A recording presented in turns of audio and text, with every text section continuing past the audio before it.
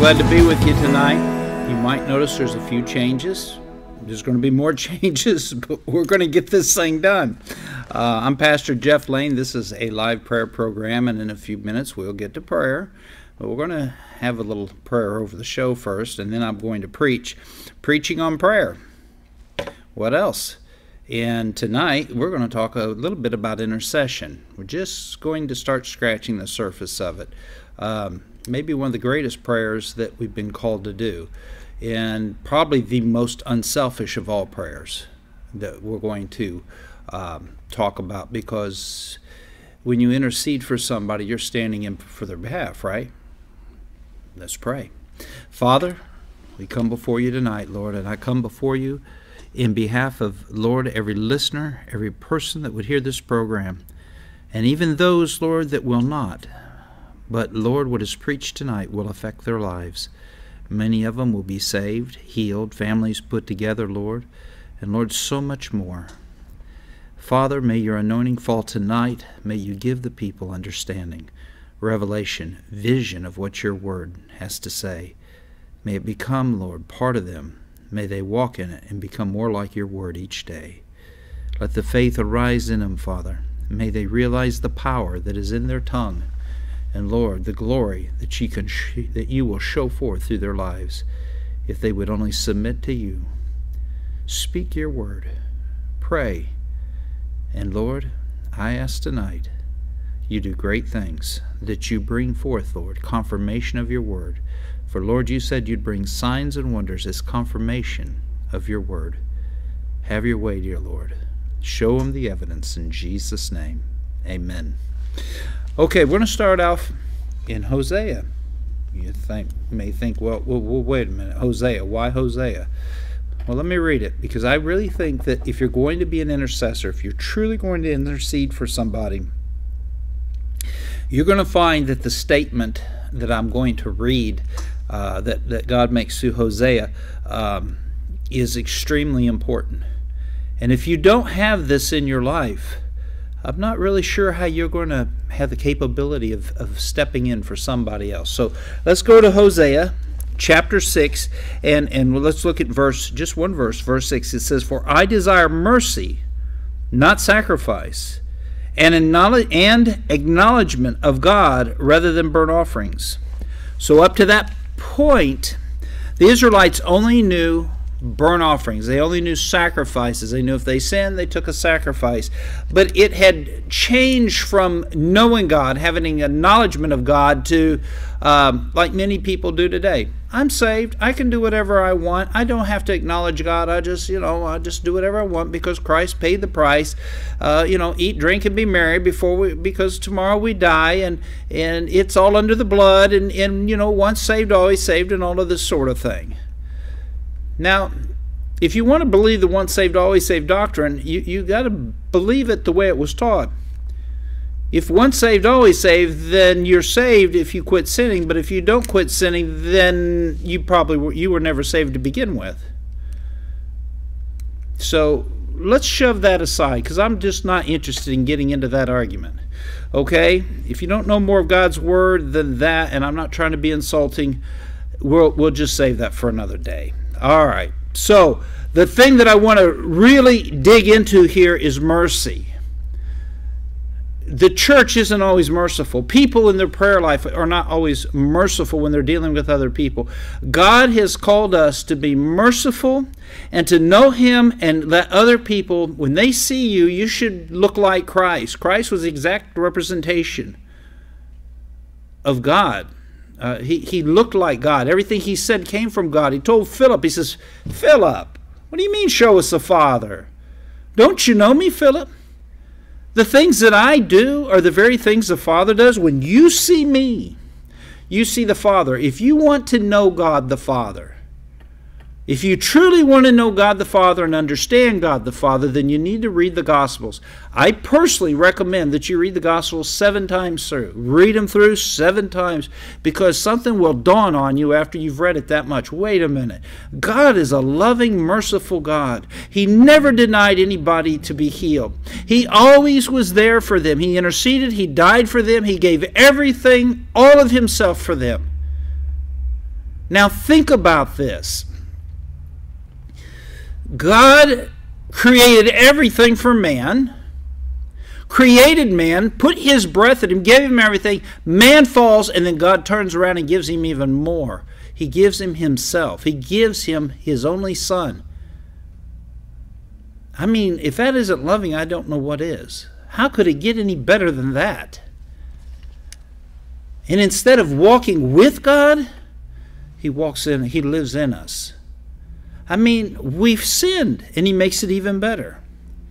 So God is not interested in, he didn't come into the world to condemn the world, but through Christ that we might be saved. Okay, so Christ came to intercede in our behalf and show mercy. He's not, it isn't about sacerdotal law, sacrifices, bulls and rams, and, and shedding all of this blood. God wants you to know Him, acknowledge Him. He wants you to know Him and he wants to show you his mercy. Now let's let's just look at it again over in Matthew 9 9. That was Old Testament. So I'm going to go to New Testament. You Give equal time here, okay? As Jesus went on from there, he saw a man named Matthew sitting at the tax collector's booth. Follow me, he told him. Oh. Follow me, he told him, and G- Matthew got up and followed him. While Jesus was having dinner at Matthew's house, many tax collectors and sinners came and ate with him and his disciples. I'm sorry, there's a there's a humorous part of this that I, I it just cracks me up. But here he's sitting with sinners and he's eating. And when the Pharisees saw this, they asked his disciples, Why does your teacher eat with tax collectors and sinners? On hearing this, Jesus said, It is not the healthy who need a doctor, but the sick. But go and learn what this means. I desire mercy, not sacrifice, for I have not come to call the righteous, but the sinners. Now it's kind of funny. I mean, I, am sorry, it's humorous because Jesus never talked to anybody that wasn't a sinner because all have sinned and fallen short of the glory of God. But these supposed well meaning church members, if I could put it that way, the Pharisees, the Sadducees, the teachers of the law, were so holy that they couldn't even sit down and eat with these, these horrid creatures. They could, I mean, uh, they're sinners. Oh my goodness. Sinners. And here you're supposed to be a man of God. God desires mercy. He says, listen, go go go read the scripture and figure out what God's talking about. You don't know him. You don't acknowledge him because you if you knew him, you would do like your father does if he were your father. And later on he tells him Satan's their father. He says, but if you knew him, you would understand that, that God desires to show mercy. He, he, Christ didn't come to condemn the world. He came to save the world. He came to intercede with them. And here he is sitting with these everyday Joes, these, these horrid sinners, and he's having a meal with them. Can you imagine something so horrible? I'll tell you what, I've always gotten along with sinners. Be honest with you. I don't expect much because they don't know God. One time my son said I was uh, uh working on a site and um, I was working with a, a, a bunch of, um, they were homosexuals. And I was talking to them and everything, and my son said, and he was horsing around with me, but he says, Dad, you get along with them so well it almost worries me. And I said, Son, they're blind. They don't know Jesus Christ. God loves them just, just like us. There's nothing to worry about. They need Jesus, and if they don't see the love of God in us, and we keep casting stones and we keep throwing stones at them, they're never going to come back to Him. They're never going to come to Him. They're never going to know Him. And why would they want to? So, my friends, God's called us to reach out to the sinners. And quite frankly, I don't know one person that God's ever spoke to on the face of the earth that wasn't one. Because God says you're all sinners. But God desires to show us mercy, not sacrifice. But, but let me show you something. Okay, we're going to look at two incidences of intercession. Two incidences of intercession, okay? Um, let's go to Luke hang on. I want to see which one I want to go to. Um,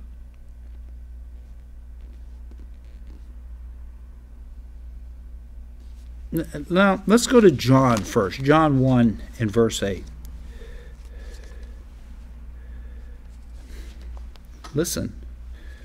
Now, Jesus went to the Mount of Olives, and at dawn he appeared again in the temple courts where all the people were gathered around him. And he sat down to teach them. The teachers of the law and the Pharisees brought in a woman who was caught in adultery. They made her stand before the group. Now, I've always found this peculiar because I'm like, okay, where's the guy? Where's the man? Okay? Got the woman there, but where's the man? You, a little slanted, isn't it? And said to Jesus, Teacher, this woman was caught in adultery in an act of adultery. In the law, Moses condemned, or I mean commanded us to stone such a woman. Now what do you say? They were using this question as a trap in order to have a basis for accusing him. You see, Satan is the accuser of the brother, and those in the church, instead of looking for a way to justify, oh, wait a minute, who is it justifies? God the Father. Romans chapter 8. We'll read it in a bit. But they weren't looking for a way to justify her. I'm not saying justify her and saying that her sin was okay, and you'll see that in a moment.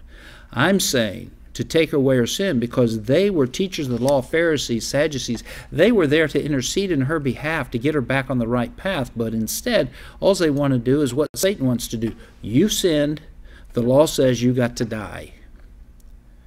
So they're ready to stone this woman, but they're trying to trap Jesus because they're not interested in mercy. They're not interested in redeeming her. God was always trying to redeem. They weren't doing their job as Pharisees, teachers of the law, as the heads of the church, as priests. Priest alone means one who intercedes in behalf of somebody, the one that is a go between, the negotiator, the arbitrator, the one that does whatever he can so that the other one would not have to suffer the consequences of their actions. So let's read. But Jesus bent down and started to write on the ground with his finger. And when they, they kept on questioning him, he straightened up and he said to them, If any one of you is without sin, if any one of you is without sin, let him be the first to throw a stone at her. Again he stopped down and wrote on the ground. At this, those who heard him began to go away one at a time. Now listen to this the older ones first until only Jesus was left, with the woman still standing there.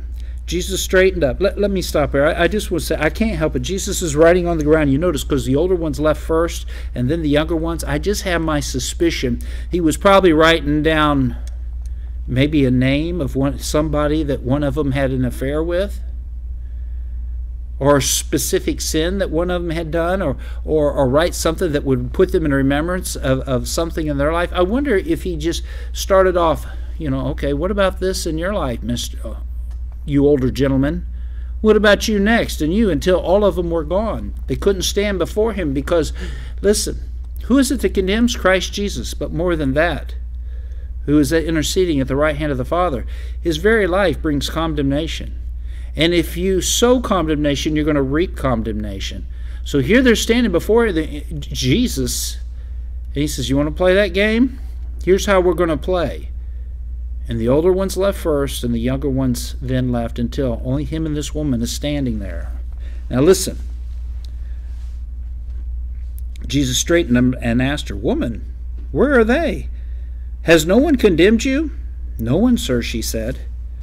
Listen to Jesus. Listen to this. This is so beautiful and it's so touching because it's exactly what he said. I desire mercy, not sacrifice. Neither do I condemn you. But then Jesus said, declares to her, Go now and leave your life of sin. He didn't, listen, he didn't justify the sin, he justified the sinner he he's taking away the sin. He does not accuse her, but he became sin for us, so he interceded in her behalf. God didn't call us to the world to tell the world they're all sinners. I'm pretty sure that most people in the world know they're sinners. I have listened to them before. Matter of fact, they'll joke sometime with me at the hospital. They'll say, Well, you know, I, I am the worst of sinners. And the other day, they all got to talking about it. I thought it was kind of funny because I really hadn't said much. They all got talking about it. I says, Well, I guess we'll all be in hell together. And they were kind of laughing, but they weren't mocking me, they weren't being mean to me. But it was one of those very honest moments. And I, you know, I, am looking at them and I'm just like, don't have to be that way. Didn't need to say much. But your very presence will condemn people at times. Your very presence will make them uncomfortable. We're not here to make them comfortable. People, we're not here to make them comfortable. We're here to, to remind them that they're in need of a Savior like we were in need of a Savior. We're not here to tell them that we're, we're Holy Joes. We're here to tell them that, hey, I'm a, I, I, I'm a sinner like you. I needed a Savior. I'm not perfect. That's why I come to Christ. I'm not a Christian because I'm perfect. I'm a Christian because I'm just the opposite, or at least I was. And even when I fail now, I still go back to the cross. So he says, Listen, leave your life of sin. Go and sin no more. He didn't, he justifies her, the woman, but he doesn't justify the sin. The sin's got to go. Now, look at this. Turn with me. Let's go backwards now. Let's go back to, to Luke uh, chapter 13. We're looking at, at situations of intercession. I want you to see this. So Jesus interceded in her behalf, and her accusers left. You know what? This isn't going to go the way I, I, thought. God just spoke something to me, and I'm going to read it to you in a minute. Let's go to Luke chapter 13. It says, Now there were some present at that time who told Jesus about a Galilean whose blood, blood Pilate had mixed with the sacrifices. I want to make sure I'm in the right place. Yeah had mixed with their sacrifices. And Jesus answered, Do you think that these Galileans were worse sinners than any of the Galileans because they suffered this way? I tell you the truth, no, but unless you repent, you too will also all perish. Or those eighteen who died when the Tower of Siloam fell on them, do you think that they were more guilty than any others living in Jerusalem? I tell you no, but unless you repent, you too will be all perish. Then he told this parable. A man had a fig tree planted in the vineyard and he went out to look for fruit on it, but did not find any. So he said to the man who took care of the vineyard, For three years now I have been coming to look for fruit on this fig tree, and I haven't found any. Cut it down. Why should it use up the soil? Sir, the man replied, Leave it alone for one more year. I'll dig around it and fertilize it. If it bears fruit next year, fine. If not, then cut it down. I don't know how many times I've been at a bedside and seen somebody on a vent and they're dying, and I mean, they, they, they, they're, they're going. And I cry out to God and I said, God, give them another year. God, give them a little more time, please. Please give them a little more time, just a little more time that they may be saved. Please raise them up. Don't let them die in this young state. Don't let them die now. But give them a little more time, maybe maybe they'll turn from their wicked ways. Now, what does he say about this tree? He says, I'll till around it, I'll take care of it. Do you have a sinner in your family? Do you have someone that don't know Christ? Do you have someone that has never bore fruit for the Father? Let me tell you what. You need to intercede in their behalf and say, Father, give them more time. Pray for those in your family even before they get sick and say, God, give them more time. And in the meantime, begin to talk to them about the Word. Begin to, to, to intercede, talk to them, and, and, and you're interceding with the Father in their behalf to have more time, to hold back the powers of darkness from taking their life. Satan wants to kill anyone and destroy anyone he can. He don't want them to have that time. And sometimes you got to stand in the gap and you got to make up the hedge. You, you, you got to be a wall about them in prayer. And if there's a gap in their in, in their lives because of the sin in their life, a place where Satan has the right to take their life. Oh, come on now. How many of you know somebody that's a drug addict? How many of you know somebody that's an alcoholic or living a lifestyle that, that their sin leads to death? then you need to intercede and pray a hedge of protection around them and ask God, give them more time. In the meantime, be telling them about Christ and what Christ did for you. That is intercession in a nutshell. That is intercession. Let me show you something. I wasn't planning on going here, but but give me a moment because it, it just moved over, Lord just moved over my soul and just said, You need to, to read this to him. Let me see if I can find it. Um, we're in Zechariah. Let's go to chapter 3. He says, Then he showed me Joshua the high priest standing before the angel of the Lord, and Satan standing at his right side to accuse him. Now, I want you to realize that Joshua was the high priest. He is the, the man that is to intercede in behalf of all the people to take go in once a year into the holy of holies with the blood of bulls and rams in behalf of the people for sins that were committed uh, uh, unintentionally. For the back in the Old Testament, there was no sacrifice for sins that had been committed intentionally. Then you cried out for mercy. David did that, okay? So here we have the high priest. Satan is standing there accusing him. Now look. The Lord said to Satan, The Lord rebuke you. Satan, the Lord who has chosen Jerusalem rebuke you. Is not this man a burning stick snatched from the fire? And Joshua was dressed in filthy clothes as he stood before the angel.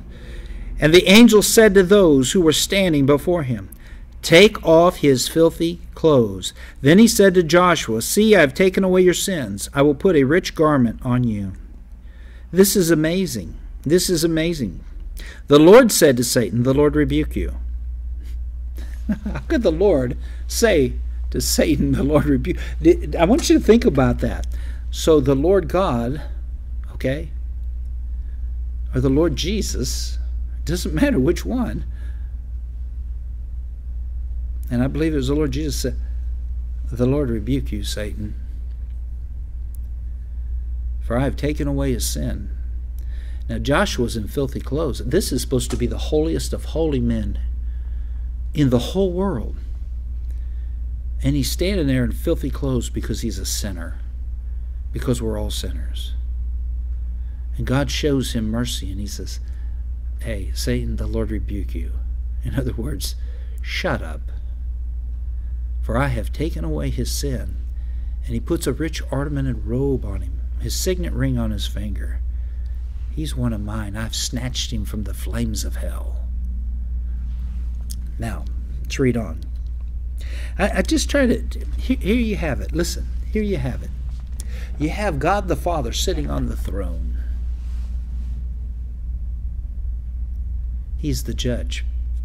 You have Joshua, the sinner, standing before him. He's the high priest, but he's a sinner. You have Satan pointing and accusing him. Says he's mine. He's sinned. He's no good. He's got to he's got to go with me into the flames. He's a sinner. He's a sinner. There's no argument as to whether uh, uh, Josh was a sinner, it clearly states that he had on filthy clothes.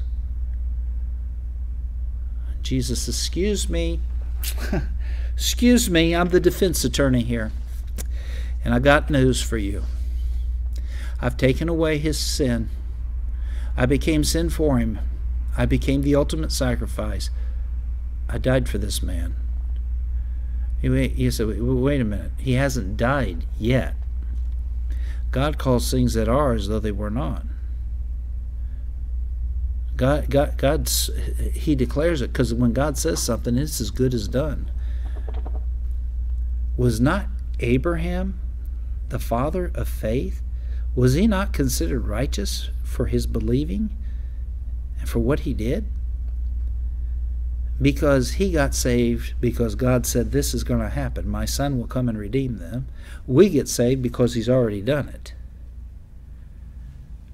You see, my friends, in the Old Testament, there was no sacrifice for intentional sin except for looking forward to the Redeemer coming to take it away.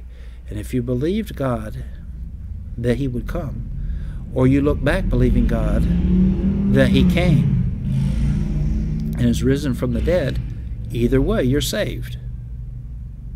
Because when God says something, He sees it as though it's done. You remember that because we're going to come back to that in a moment.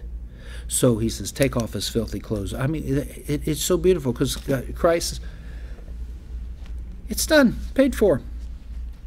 I did it myself. All of a sudden, the screen of the prosecuting attorney showing all the things that, that Joshua did, it suddenly turns red.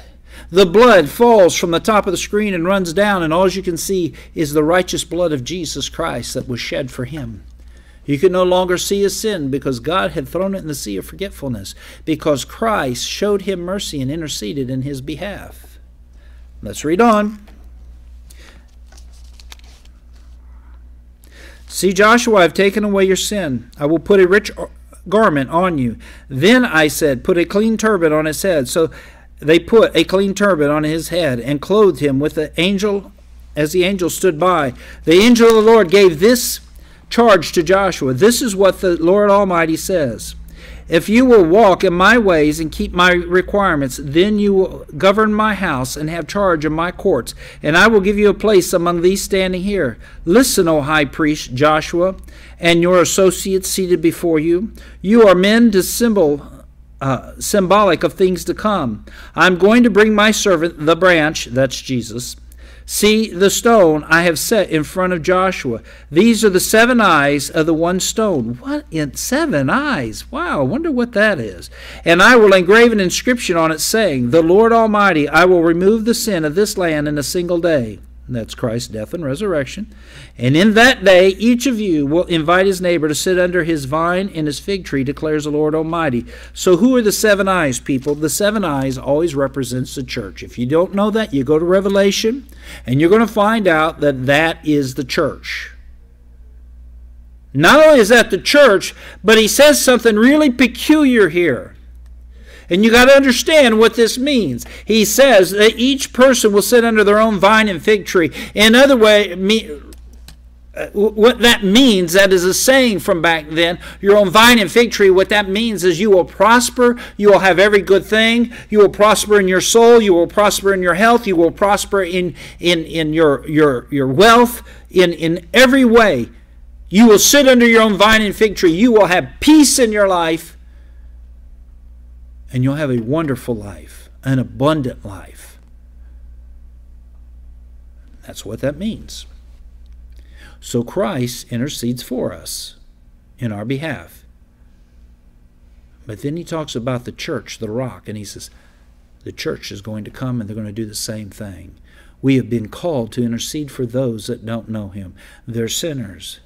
But unless we go to them, how will they know they're sinners and how will they be saved? we must go and sin no more. Yes, it's going to make them a little uneasy, uncomfortable. But I remember Smith Wigglesworth was on a train. You, you've heard me talk about him, but I got a, a, a kick out of something he said. He's on this train, and he's uh, um, uh, just went in and he sat down. That's all he did. He sat down. He goes in and he sits down. Yes, I'm looking for a scripture. Uh, and he's sitting there, and this man comes in and he sits across from him on the train. Now, I know we don't do that much anymore. People don't take trains like they used to. Becky and I, uh, Leah, when she was little, she wanted to go on a train ride. She wanted to experience it. And we took a train ride from, from here up to Maine. All I got to say is trains ain't what they used to be because I rode one when I was a kid and it was very comfortable and nice. This wasn't so nice. But regardless, we took a train ride and people walked around talking to each other. Matter of fact, at one point here, Aaliyah has, has just always been a uh, a kid magnet. Okay, and pretty soon, every kid in two cars have come together in the front of this train, and she's got them all coloring and playing together and being real sweet. And all the parents like, "This is great." I mean, she's just, I mean, it was amazing. And we just laughed because she'd always do that. The kids just flocked to Leah. Okay, so she's she's on this train, and everybody's just talking and with one another. It was really nice. So you, if you can kind of picture that. So Smith Wigglesworth is sitting there. He's not saying a word. He's just sitting there waiting to, for the train to take off. And it begins to take off. And this man comes. He sits across from him. Suddenly this man says, "You, sir, convict me of my sins." And he fell down. And he says, "I'm a sinner. Forgive me." Now, how could that be? Except the Spirit of God was so great upon Smith Wigglesworth, it was the Spirit on him. I've actually experienced that. I've had people say, look at me, that just suddenly stare, turn around, look at me, and say, You're a Christian and they would feel conviction and they'd want to get right with God. It wasn't anything I did. It wasn't because I was so holy and so righteous or, or any of these things. It was because of the mercy that God had shown me and the Spirit of God on my life. And you become a natural intercessor because of the very presence of God in your life. Long story short, pretty soon everybody in that car, they started a revival and everybody in that train car got saved. They all gave their heart to Jesus. And Smith hadn't even spoken a word to start with. Now, aren't you looking forward to the day that you have so much of the Spirit of God upon you that your very presence convicts them to the point they want to ask for forgiveness because they feel not just the conviction. Listen, I'm not talking about condemnation. Conviction is when you become aware of your sins because of love and mercy. Condemnation is because Satan is the accuser of the brother. That's of the devil. But when you bring conviction in your life because you have mercy and love, that's what changes the hearts of people. Now, I want you to turn with me to Romans chapter 8. Yeah, we're back in Romans chapter 8. We sure are. Let's look at verse 26 to start with. I'm about, we're going to wrap this up here. Didn't go the way I was going to go at first, but this is what God has directed me. You want to be an intercessor? You listen. Now, in the same way, the Spirit helps us in our weakness. We do not know what we ought to pray for, but the Spirit Himself intercedes for us with groans that words cannot express. It actually says in the Greek, if I can quote it, I'm going to do the best I can, with words that others cannot understand. And he who sac- listen, he who searches the heart knows the mind of the Spirit, because the Spirit intercedes for the saint. The Spirit, I'm sorry, for the saints in accordance with God's will. So, do you remember over in Genesis where God said to uh, Cain, "It says, uh, Cain, sin is crouching at your door. It desires to have you, but you must master it." The Spirit now intercedes for us in our life. And God speaks to us and He says to us, Listen, you got sin in your life, you got things in your life. And I and, and He intercedes and He prays through us in accordance with God's will that we would what? Not succumb to sin. But He also intercedes through us for others. Now let me show you. Let, let, I hope you can remember something I said earlier, but I'm going to go to this. So he intercedes for us in accordance with God's will, and it says, and we know that in all things God works for the good of those who love him and who have been called according to his purpose. Okay, I hear people quote it this way. We know that God works for the good of all those are, are for, for we know that God works for the good of everyone or, or, or, or, all people. That's not what it says. It's, he works for the good of those who love him and who have been called according to his purpose. So they're called according to his purpose because all are called, but few are chosen. But I'm not going to look at that. What I want you to see is those who love Him. What qualifies if we love Christ? What qualifies if we love God? How do we know? What evidence is there in our life that we know that we love Him? You're going to have to go over to First John, read the book, and over and over it says, if you love Him, you will obey Him. What did Christ say? If you love me, you will obey me. So we walk in His Word and we obey His Word. We have stopped, we have repented, we stop our sinning, and we start obeying Him. So if we love him, we obey him. Okay? So he works for the good of those who love him. So that Christ prays, he, the Spirit intercedes for those who love him according to God's purpose. Now, keep reading.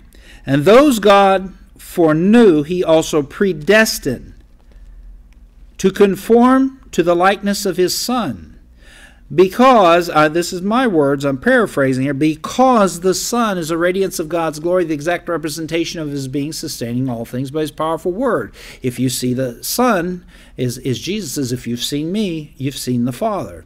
So if you conform to the likeness of his Son, you are conforming to the likeness of God the Father. This, listen, let me read it again because I want you to grab this. For those God foreknew, he also predestined to conform to the likeness of his Son. So, in other words, God says himself, I am going to conform you to my likeness. Because in the beginning we were created in his likeness. We fell out of his likeness. Christ is bringing us back to his likeness. Because he's ever, what? Well, let's read on. Now listen that he might be the firstborn among many brothers. And those he predestined, he also called, and those he called, he justified, and those he justified, he also glorified. He did not justify what they were doing, he justified the purpose by taking away their sin. He didn't justify them their sin, he justified the person because he took away the sin. But then it ends with, He also glorified. Whoa, whoa, wait a minute, wait a minute. Glorified. Let me think about this a moment before we get into more intercession. So here we have Joshua, the high priest. He's standing before God Himself, and before Christ, and before Satan, and other heavenly hosts. He's standing before Him, and he does what? Christ, He removes the filthy rags, the clothing, and He puts on a royal robe. He gives him the he glorifies him with his what? Mantle. Elijah went across hit the river went across. Elisha was following. Says what do you want elisha? I want a double portion of your spirit the spirit that's upon you. He says if you keep your eyes upon me you'll have it. Otherwise not. And he's taken into heaven chariots of fire come down and they take elijah he don't have his eyes on the chariots of fire. He has his eyes on Elijah because he knows what he wants. And as Elijah goes into heaven, he looks. He's staring up there. And the mantle, the robe of Elijah, begins to slowly drift down from heaven. It drifts and it goes back and forth. It must have seemed like an eternity watching that thing come down. And Elisha reached down and he picked it up and he wraps it around himself. Because God brings the glory, he glorifies him that day. Jesus died on a cross. He was beaten, he was whipped. He was doing all of this because he had become sin for us. It says he became sin for us and he became the curse for us. And he was impaled on a cross and nails in his hands and in his feet, a spear in his side, and a crown of thorns, and his face was beaten beyond recognition, and his back was just just his whole body was just the flesh, the ribbons of flesh had been ripped off as that cat of nine tails with the, the, the bones. That said they put sharpened bones in it, flint, and they whipped his back it just it's stuck in his his those his own bones, and he he they, they pull it out, and as they did, it just the ribbons of flesh would go come off. I mean, you said, Pastor, you, you're a little bit descriptive. Yeah, I am a little descriptive because Christ showed me Himself on the cross once. It wasn't a pretty sight. I watched His blood dripped from Him, His side running down his face. His, his, he, he didn't even look human. He was so beat up. He became sin for us, and in that sin that, that died. He died. But then he rose from the dead. More than 500 people saw him at one time. The apostles and, and disciples and different people saw him, and Mary and they saw him, and these people who had once have been horrible sinners, they saw him, and, and finally they're standing with him. And the day he's to, to ascend into heaven. And he says something to him. He says, Go into Jerusalem and tarry. Go into Jerusalem and tarry until you are endued with power from on high. And then he, he was lifted into the sky, and the men were standing there just staring at the sky, like Elisha. They went back. The angel says, What are you doing here? Go and do what he told you to do. They go into Jerusalem and pray. But what they didn't know is his mantle was falling because Jesus didn't do one miracle.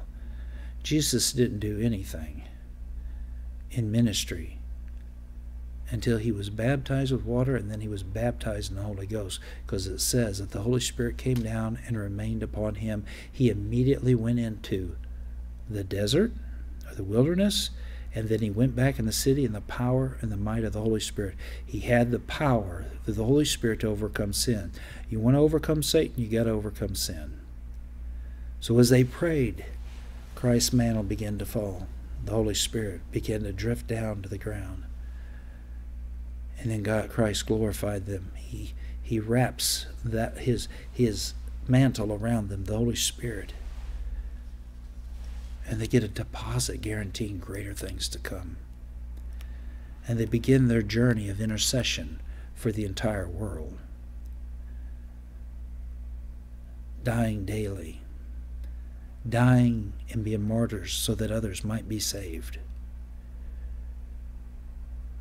He glorified them with His Holy Spirit. He glorified their flesh with a deposit of His Holy Spirit. How amazing. Let's read the rest of this. Not to the end, not just a few more verses. We're almost there. What then shall we say in response to this? If God is for us, who can be against us? He who did not spare his own son, but gave him up for all of us, how will he not along with him graciously give us all things? Who will bring any charge against those whom God has chosen? It is God who justifies. Oh, praise God, He sent His Son to justify us. You know, how do you win in court when the judge has justified you? Cards are kind of stacked in your favor, aren't they?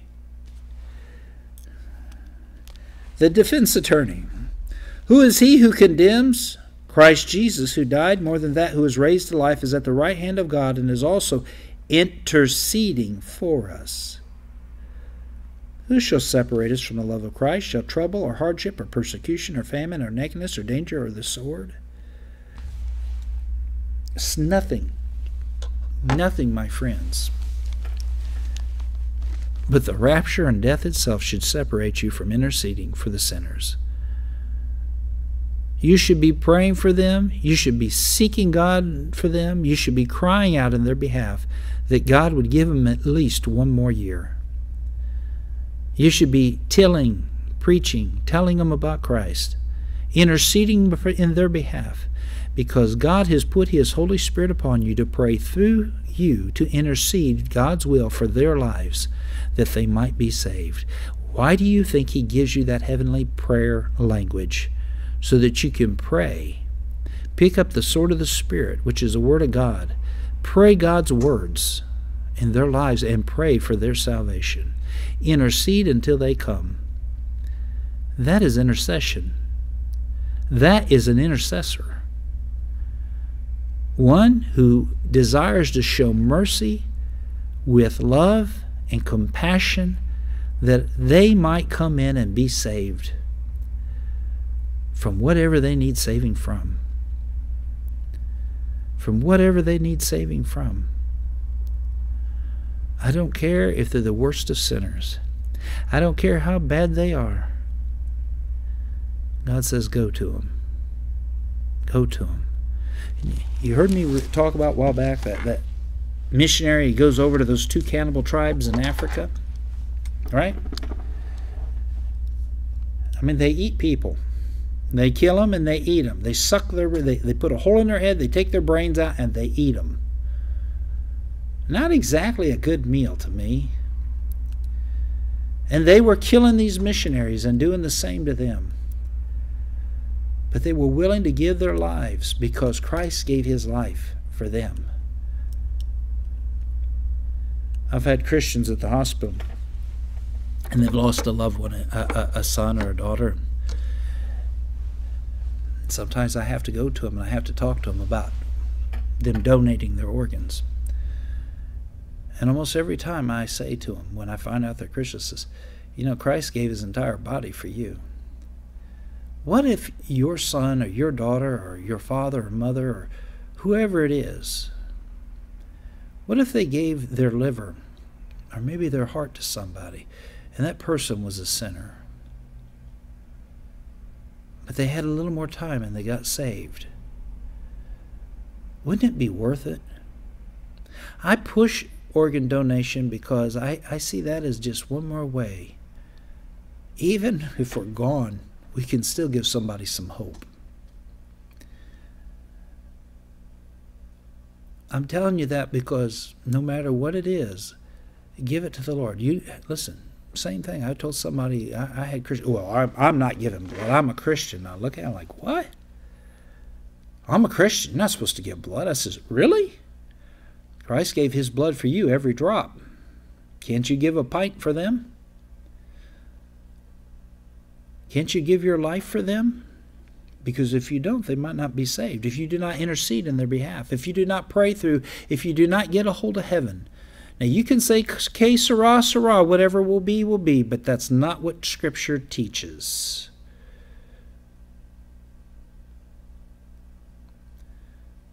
Either you do it or you don't. But if you don't, don't do it out of obligation but become like the Father, become like the Son, and have so much love and compassion and mercy in you. You see,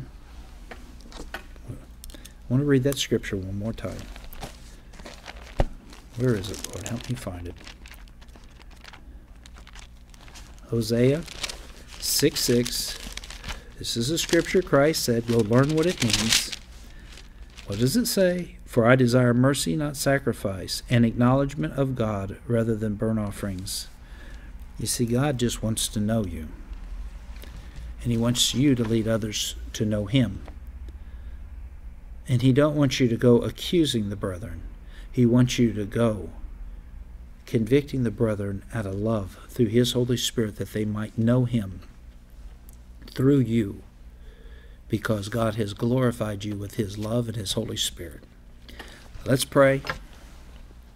And then let's pray. Father, we thank you for your word tonight. And Lord, it is a sweet word, a sweet word of love, mercy, and compassion. May it touch hearts tonight. May they cry out to you and say, I want to be like that. Make me like you, Father. Make me like your Son.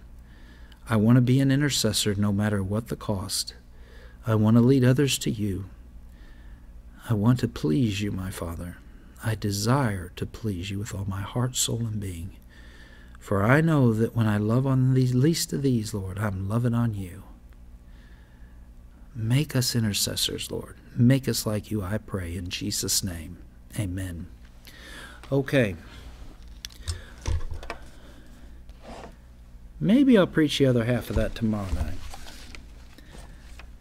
The Lord just took me in a totally different direction. Funny how he does that. Look, if you want prayer tonight, you want me to pray for you. I'm not here to condemn you. You know, I used to get irritated because I tell something, you know, I, got a cold. Oh, don't say that. I'm a jerk. And I look at him, what do you mean? don't claim that on yourself. Wasn't claiming anything on myself. I already got the cold. God didn't say to deny. Listen, you can't deny the truth. The truth was I had a cold. I deny the right of it being there. I'm not here to condemn you because you have a cold or, or you got the flu or cancer or anything else. It doesn't mean Christ loves you any less. On the contrary, Christ has called us all to come before his throne, boldly before his throne in each other's behalf, to lift each other up, what does he say in Hebrews? He says, Assemble yourselves together even more so as the day of the Lord approaches. But it also says right there to come boldly before his throne. So let's come boldly before the throne of God in each other's behalf. I'm not here to throw a stone at you. I'm not here to condemn you. If you have sin in your life, it's time to go and sin no more. But I'm here to pray for you. and lift you up. I remember twice in my life I've had ladies come up to me and they didn't want to tell me what was wrong. I said, just tell me what it is. And both of them had venereal disease. They had sinned. I asked them, I said, Did you repent? They said, Yes, I did. One couldn't tell her husband. I said, Let's pray. We prayed. And God took, healed both of them. Healed both of them of an incurable disease. He didn't tell me, well, they're sinners. Let's throw some stones at them, Jeff. He gave them mercy. He healed them. And He gave them new lives. And you better believe they quit sinning. They said, I ain't doing that again. Praise God. So I'm not here to throw stones at you no matter what you have. I'm here to pray with you that you be healed. Some of you need to call in tonight. We need to pray because you're having a hard time being an intercessor. You're so busy focusing on your own life and yourself, you're not focusing on reaching others for Christ. And maybe some of you, you've been a little bit on the side of uh, condemning and accusing. You're right, I do need to do that. So, let's pray, no matter what it is. I'm guilty of it. When I was younger, I was guilty of it. I was guilty of, uh, of, of doing Satan's work, accusing others. I wish I could say I didn't, but I did. I had to ask for forgiveness.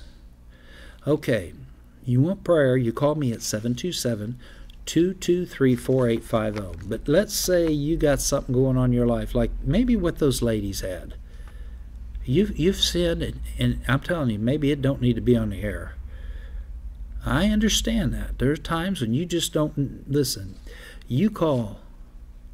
I don't care what it is. Male or female, you've committed adultery, you've done something, but you got a problem in that area. You call Catherine off the air. 727 223 3006. Listen carefully. 727 223 3006. You call her. She's off the air. You're not going to be off the air. She will pray with you. Don't just sit there. Get it out of your life. Get it taken care of. I don't care if it's venereal disease. I don't care what it is. I, I don't care how sensitive it is. Or maybe you just don't want to be on there. You're just uncomfortable. I understand that. I get that. Sometimes it just it's just hard for people to to to for other people to hear what they need. I don't think uh, uh, Aunt Alice would mind me saying she has a hard time coming on the air. Here, this woman is a giver, giver, giver, does, does, does, does, does for the Lord, and and she just has a hard time being on the air. That's okay. She's shy. Big deal. Okay, big deal. I the woman's got a holy boldness. She just don't like to be on the air. I get it. She's done it before. Took a lot of courage for her. I got another lady, and, and I'm just going to call her Kim. Bold as a lion, but she just has a hard time coming on the air. That's okay. I'm going to take you right where you're at. So call Kath if you're one of those people. 727 223 4994. Now, all of our numbers start with 727-223.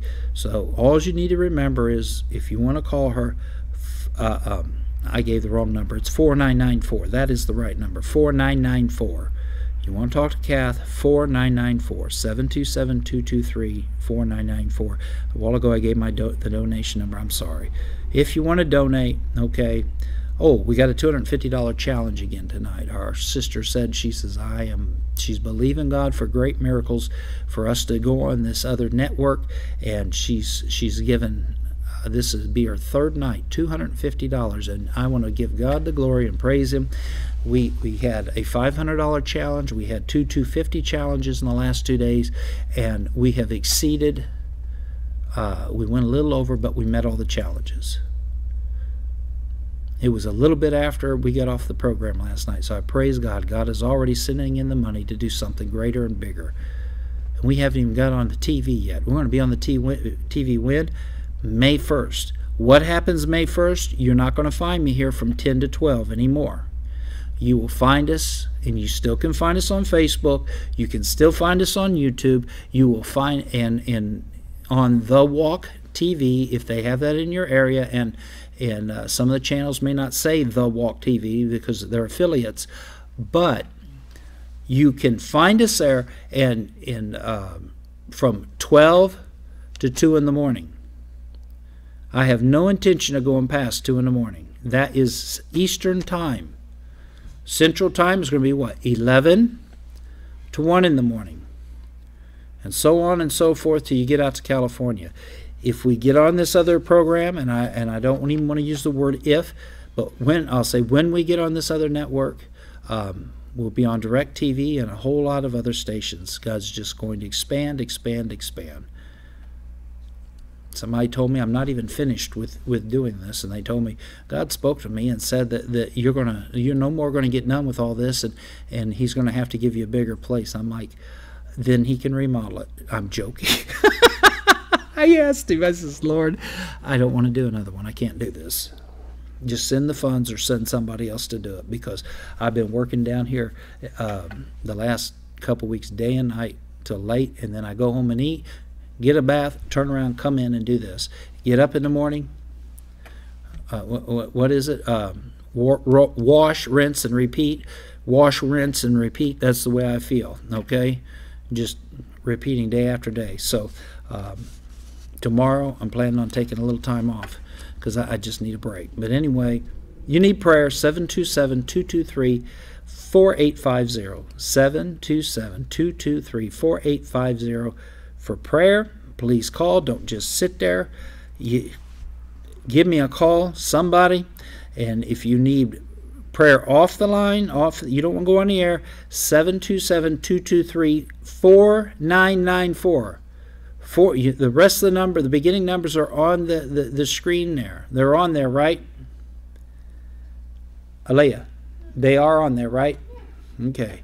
So 4994 is that's that's the end numbers. If you want to meet some of this challenge, 727-223-3006. Hello sister, how you doing? I'm doing okay. Yeah, now I understand the baby got another tube out, but she's having a lot of withdrawal issues.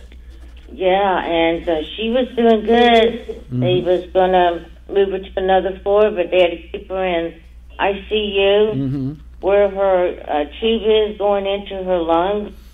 Her numbers are way off. Her numbers should be below 60, and mm-hmm. she's at 100. Okay. And that's on her chest. And now today was the first time I think that she had ate anything, and she's got a lot of pain in her stomach, too. So with her chest and her stomach, they're giving her pain medication mm-hmm.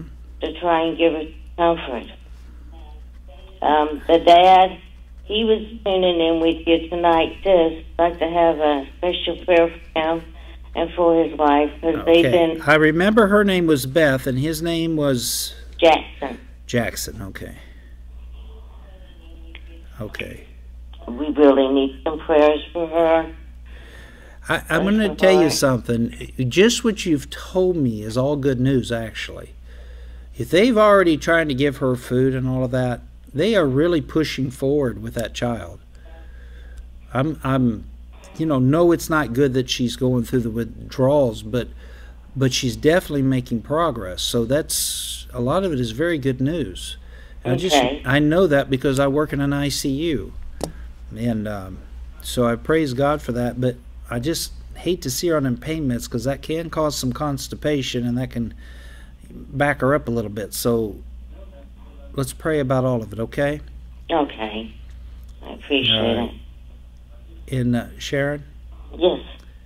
Thank you for standing in and interceding for her. I, I just appreciate it because what you're doing right now is intercession. We're, we're coming together to pray. And, you know, if we I'm don't, learning.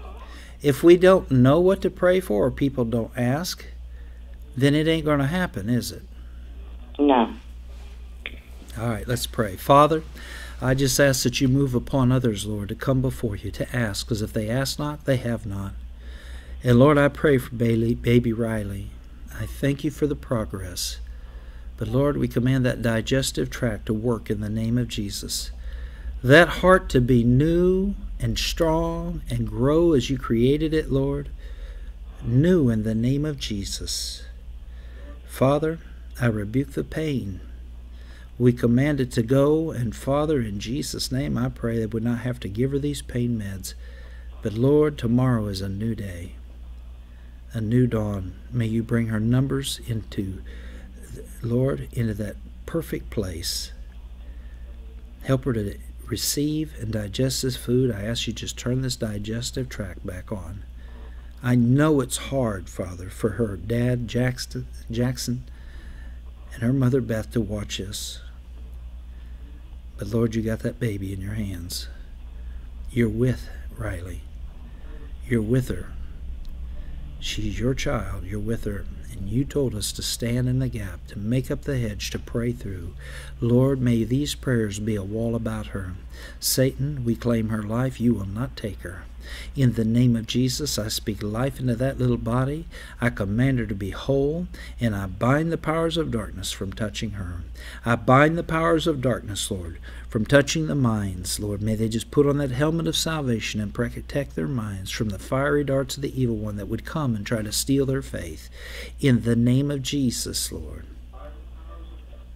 I speak faith and life and healing and that peace that surpasses all understanding in both Jackson and Beth tonight. Lord, may the saints rise up and be a wall about them. In Jesus' name I pray, Lord. In Jesus' name. Amen. You know what comes to me, Sharon, is when the Romans used to fight, they fought 10 across and 10 deep. They had a 100 soldiers. Now, the soldiers that were on the four sides were the ones that were doing the fighting, but the ones in the middle, they would be standing there until one of the men on the outside either got wounded or, or something happened or got worn out. And so they would switch places. And they were constantly uh-huh. switching places. And they would draw the one that got wounded into the middle of the hundred, and they would be a wall about them and protect them. And sometimes one of their friends would be so close to him, he would be the guy that would wrap their arms, you know, hold him, you know, try to help him or whatever, while the others protected and be a wall. That's what we do as intercessors. We need to be a wall around Jackson and Beth as they bring comfort to this child. We need to be the ones praying in their behalf because their minds and their hearts need to be upon this child. And that's exactly what we're doing. So, saints, be praying Intercessors be praying and let's be a wall about him as this child heals and we protect this child from the enemy. God bless you, sister. Oh, thank you so much, Pastor. God bless you too. Thank you so much. Your prayers mean so much to me. Well, it's it's the combined prayer, but it's also, sister, it's it's the Lord that does the healing. Yes, yes. Glory to God. Yes. Love you, sister. Keep doing the good work. Okay, thank you. All right. Bye bye. You too. Bye bye.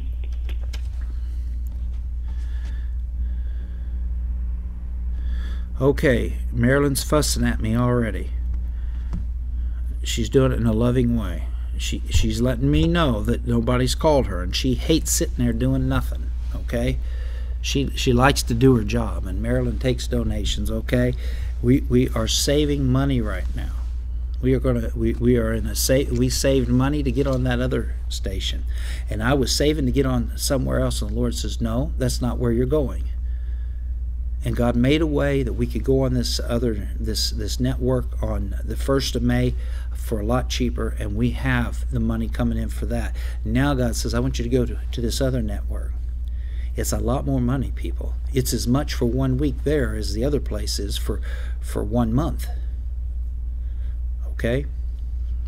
It's a lot of money. But I know somebody that has a cattle on a thousand hills. I know somebody, he says, the gold is mine and the silver is mine. I know somebody who owns it all. And he said, he's telling his people, don't worry about it. Give, and I'll give you more.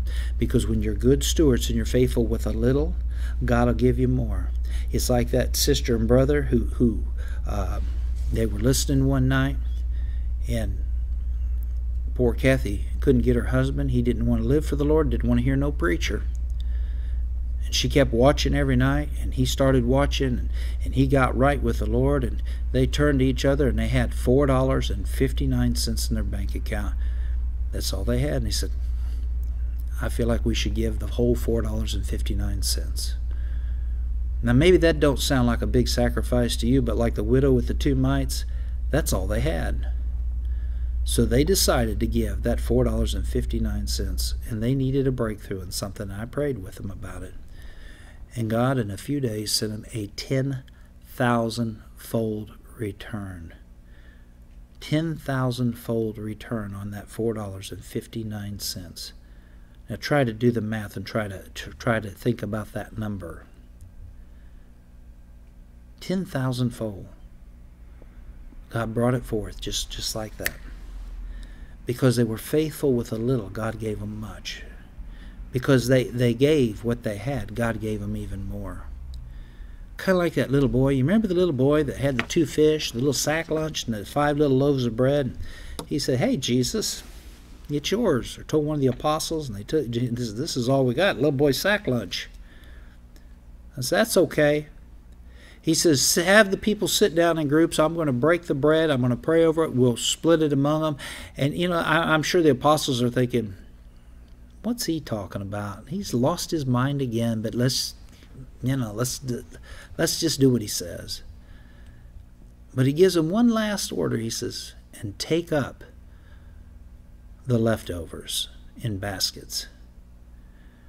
The little boy gives his little lunch.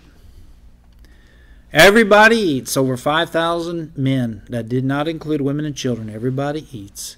They take up the basketfuls, and there's five large basketfuls of, of fish and bread. Now, who do you think went home with five, 12 basket loads of fish and bread? The one that gave the sack lunch. And he goes home with it. And he said, Mom, Dad, I want you to meet my 12 friends. Come on in, guys.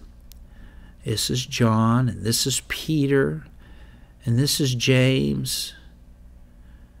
Sometimes he, he, he sounds like thunder. Here's Matthew.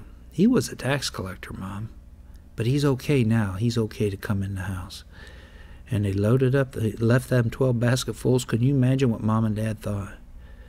We're going to eat for a while. But that's the way God works. When you give Him little, He'll turn it into much. Because you've been faithful with small things, He knows He can give you more and you'll be faithful in big things. I called a, a, a young lady today. I'm going to call her a young lady. And I said, Hey, I need another prayer warrior. Lord spoke to me and says, you're, you're supposed to be my prayer warrior. I don't think she knew how to answer me. I said, God spoke to me, and I've got verification. And I said, You know why I'm calling you? Because you've been faithful to this ministry for over three and a half years. You've been faithful. And you know how I feel about faithfulness.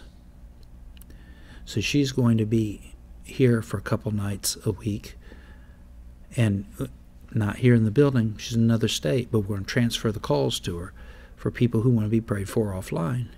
Do you know why Catherine does what she does? I've known her for over 20 years. Faithfulness, faithfulness, faithfulness. Because she's been faithful with small things, God gave her bigger things and is given even greater things yet to come.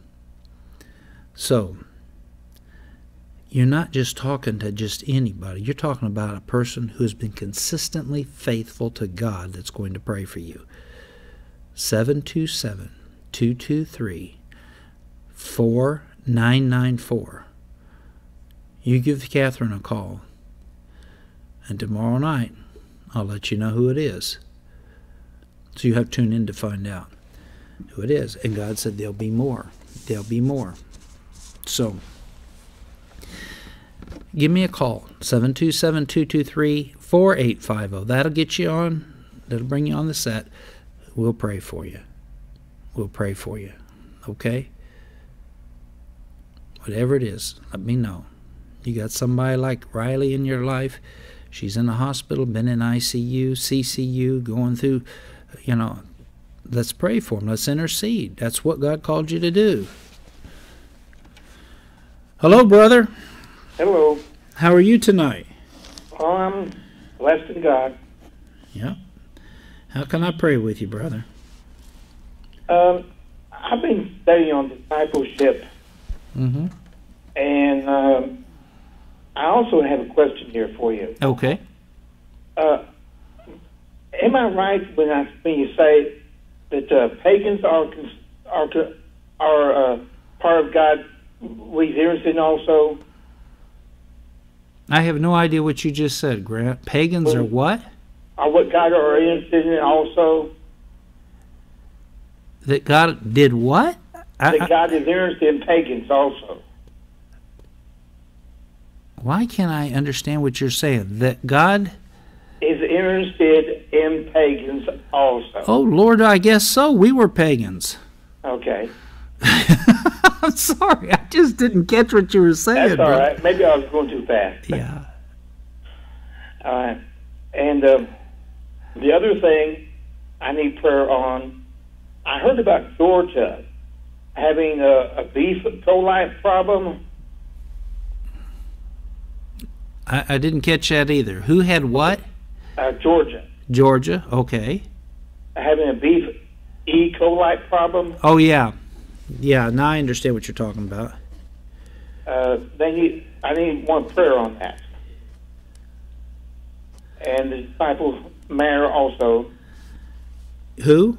and the disciples' mayor, disciple learn to be a disciple. Oh, okay. And uh, the other thing, uh, you know, I'm concerned about how did Jesus go out and get the disciples? Is it was it he go by two by two? Because that's what I heard he uh, how he did it was two by two.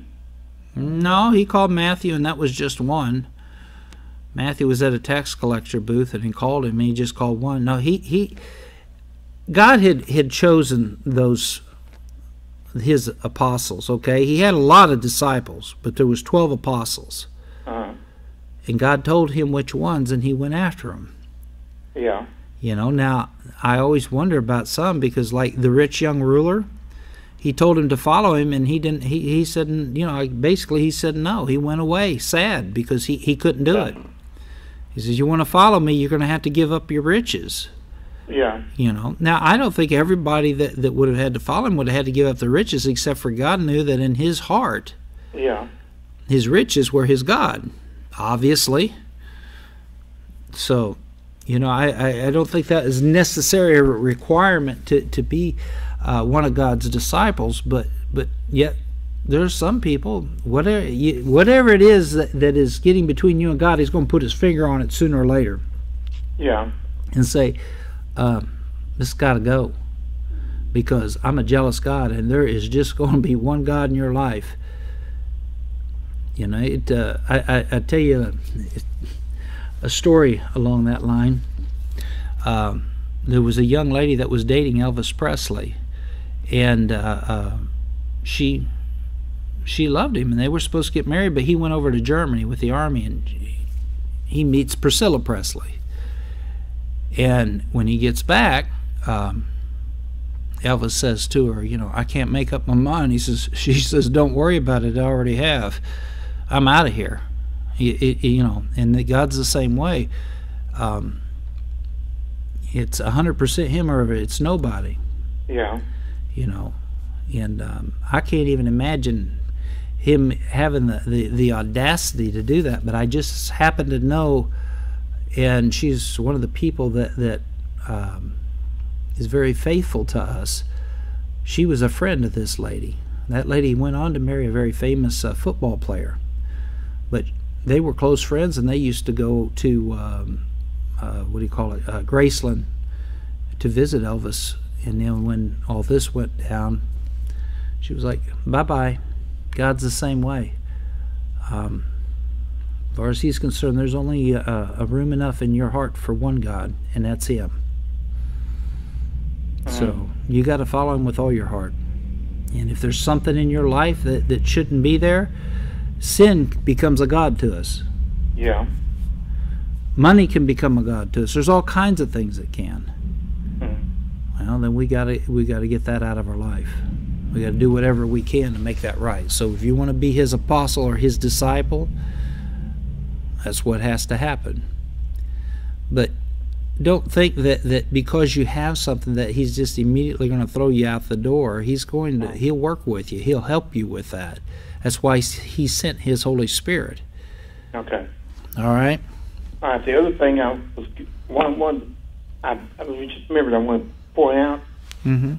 Uh, I sometime back in my life, I was uh, so close to God that I was in the uh, so into the spirit. I was like I was drunk in the spirit. Mm-hmm. I want that kind of closeness back. Mm-hmm. All right. I'm going to simply say this: Don't seek the experience. Seek the experience giver. Seek God, and it, you'll have that again. Okay. Okay.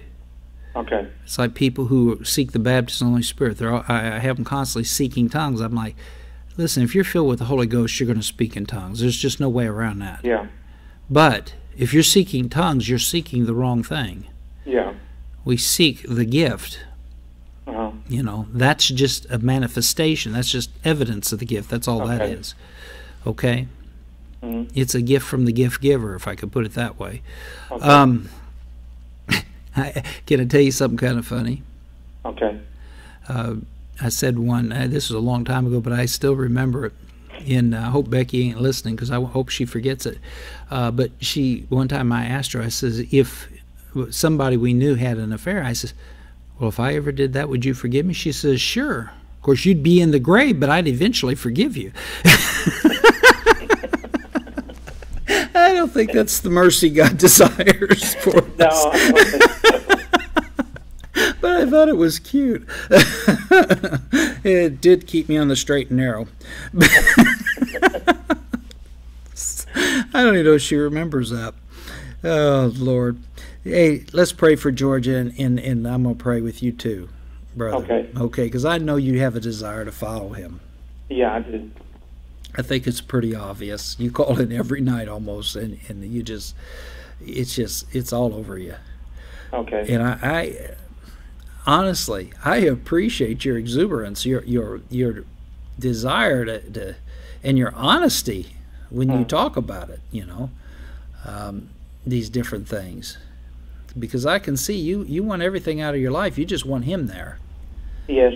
You know, but sometimes what can I say? Sometimes we get a little confused as to what God wants in our life, don't we? Yeah. So, and I feel like you're you're trying to make sure it, it's. I was a young man and I loved the Lord dearly. Oh my gosh, I was saved, loved the Lord, and and I went with my birthday. Just I was turning, I think, nine years old, so it just got me into youth camp, and um, because it was during youth camp that I, my birthday arrived, so they allowed me to go and my birthday was going to be on the last night, which was Thursday. And I remember they were teaching on the baptism of the Holy Spirit and talking about it. And every night they had an altar call. And I'm I'm not an easy sell, okay? Mm. And they started talking about this, and I didn't realize really what they were talking about, not knowing that I had been around it my whole life because I was raised in a Pentecostal church. And um, but I just didn't put two and two together at first. And they would give all the scriptures every night for it, and instead of going to the altar, I would take notes and I'd run back to my room and I'd sit on my bunk and I would go through everything they taught that night. I wanted to make sure what they were talking about was of God. Well, the fourth night had arrived, the Thursday night uh, of camp, and it was the last altar call that they were going to give because it was our last night. And they got up and preached on the baptism of the Holy Spirit, and and uh, I was convinced this was of God. And I wanted it in my life. I wanted more of God. So I went down and I prayed a very simple prayer. And I don't know if I said it right then, and I may not say it quite right now, but God knew my heart. And I, I just went down and I, I raised my hands. I was standing, and I raised my hands up and I said, Dear God, you know I want all of you, and I want everything you have. And if this is something you want to give me, I want it. But Lord, I'm trusting you right now. I'm just submitting myself to you and I'm trusting you. And I said, if this is of you, your word says that if I asked for a fish, you wouldn't give me a stick, or if I asked for a piece of bread, you wouldn't give me a stone. So if you want me to have this, then give it to me right now. Mm-hmm. And I fell backwards on concrete. Didn't feel it a bit. My hands are still raised in the air. And I'm telling you, I felt like I had been raptured. I, I was in the throne room of God with Him. I mean, it was the most wonderful, beautiful thing that I had ever experienced. And I spoke in tongues for two and a half hours. They finally made me go to my room. I walked out of the building. I got off the floor. I could barely walk. I was like you, drunk in the spirit. I could yeah. barely walk. I staggered back to the room and I spoke in tongues all the way to the room. I finally fell asleep. They said I was speaking in tongues in my sleep. My wife says I still do that. There are times when she'll wake up and I'll be praying in the spirit and, and I'll be uh, out and yeah. and I woke up the next day and I could hardly speak English. And my mother and, and some other people from church showed up, and I believe we were in a van. And I remembered I couldn't wait to tell her. But I was afraid that I couldn't get English out. And I got to tell her that what God had done for me. But the funny part is, brother, I watched my mom pray in tongues all the time. I didn't know that was the baptism of the Holy Ghost.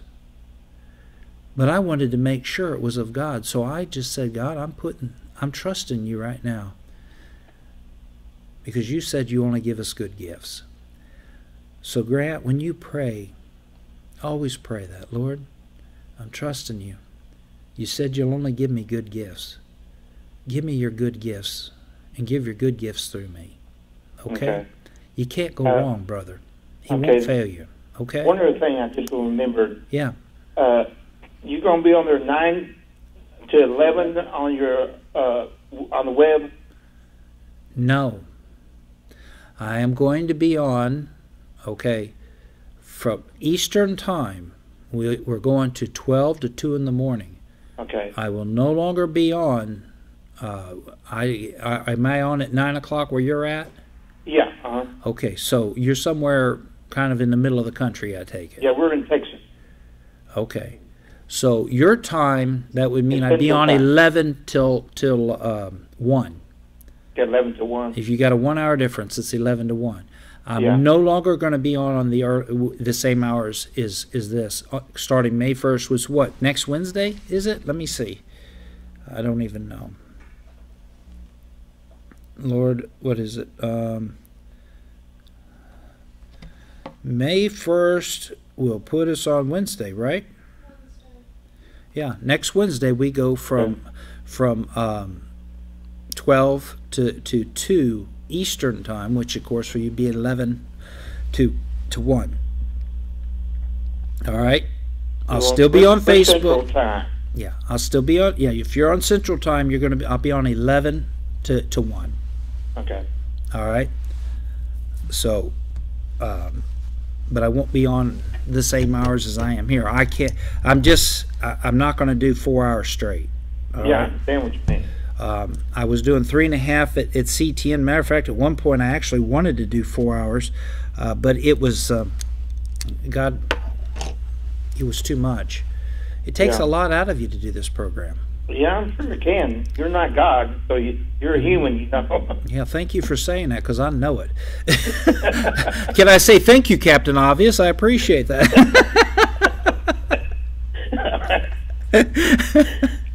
uh, my grandfather used to say, one hour or, or uh, one hour under the anointing is like eight hours of hard labor on your flesh. There's a lot of truth to that. It, it Yeah, I really it. it takes its toll on you. It does I, because it's just the flesh cannot stand under the glory of God very long. I, I remember when I used to work three jobs, it, it, it can be rough on you. Yeah. Well, I feel like that's what I'm doing now still, but I'm being a little more careful. Yeah. You know, I, I'm, trust me, I'm being much more careful than I was before, and I'm I'm watching myself and and um, you know, like I said, tomorrow I'll be here tomorrow night. I should be, uh, but I'm planning on taking a little time off tomorrow because I, I got to get some rest. I got to Well, get. I, I know that when I when I'll see you because every time I I go on the computer, I have a pop up Mhm. that uh, since I'm subscribed to that YouTube Right. on you, it pops up every every time you're going to come on. Yeah, you'll still get that. Okay. All right. All right, brother. Let's pray. Okay. Father, Grant and I come together in agreement for the great state of Georgia and the people that are in this state. And Father, I ask, Lord, that you would put to death this virus or, or this E. coli, Lord, this, this poisonous thing. Lord, may they find the source. And Lord, I pray in Jesus' name you'd stop this outbreak across this state. You'd protect these people from it. Your hand would be upon them, Lord, and you would stop this this epidemic, if I could put it that way. And Lord, I pray that you heal those that have ingested this, Lord, and that are sick tonight, Amen. and restore their bodies. And Father, Amen. I pray over my brother, and I pray, Lord, you give us every good gift from above, Amen. and that you continue to pour out your gifts for him, Lord, and use him, Father. Those gifts are not for us, they're for us to give away. And as we're good stewards, Lord, you put us under authority as we submit to authority so that we can touch others' lives. And you give those gifts through us, Lord, to heal, to edify, to build up, Lord, to encourage, and so much more. Lord, may you take Grant to that place and help him to stand before you a faithful man. Amen. In Jesus' name, amen. Amen. Amen. God bless you. Bless you. Thank you. You're welcome. Mm. Okay. Now, I just got a little message from um, uh, Sister Marilyn. If I'm reading this right, I better make sure. I'm getting tired. When I get tired, I got to put my glasses on. You know, I go a lot of the day. I don't even, I don't even know where my glasses are at. Well, boy, I get tired at night. For some reason, I have trouble focusing a little bit. Um, she said $58 has come in so far. We have a $250 challenge.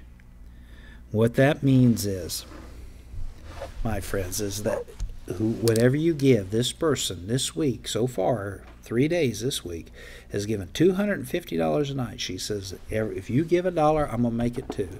You give $58, I'm going to make it 116. I'm going to match whatever you give. I'm going to double it up to $250. That's a that's a giving heart. And I know this person. I'm telling you. This person has got a heart the size of, of I'm going to say Alaska instead of Texas. Sorry, Texans. I don't mean to offend you, but I, I heard the mayor of Alaska said to, to the mayor, uh, I mean, the governor of Alaska said to the governor of Tennessee, if you all keep bragging on how big your, state is and how big everything is Texas is, we're going to split our state in half, and there'll be two uh, uh, states bigger than yours. So this gal has the heart, a heart as big as Alaska, but it's as warm as Texas. So.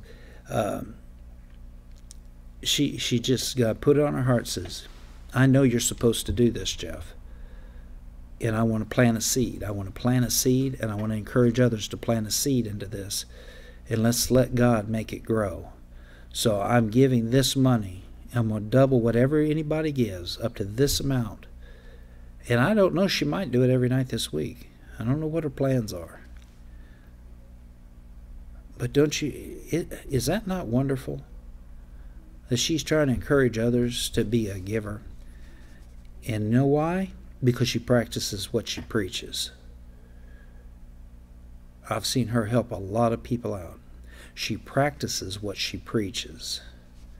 And she can intercede in a giving way. That's all a part of an intercession. She intercedes in a giving way to make a difference. Maybe you don't think your money is that important. Maybe you think that, that we talk about it too much sometimes. But listen, the money is as important, and I know this now more than ever.